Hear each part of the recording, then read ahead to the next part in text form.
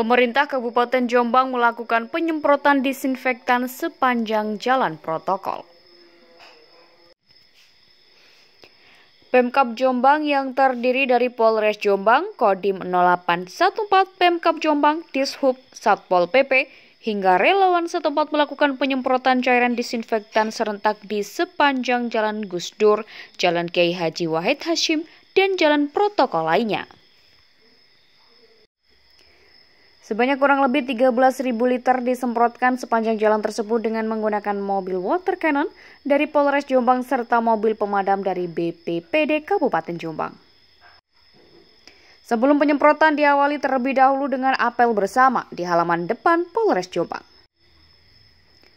Selain dari TNI atau Polri hadir juga dari Satuan Polisi Pamong Praja, BPBD, Dishub, dan juga relawan hari ini Selasa tanggal 31 Maret 2020.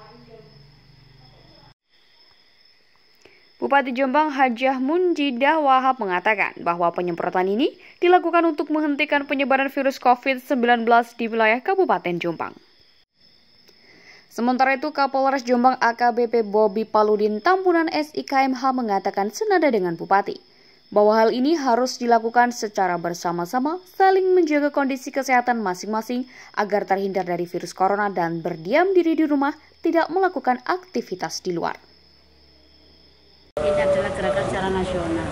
Tentunya kita akan melaksanakan kemarin, namun ada uh, dari Pak Kapolres bahwa dilaksanakan hari ini secara nasional seluruh uh, kota, kabupaten ini menyelenggarakan penyemprotan pagi hari dan waktunya pun ditentukan jam 9.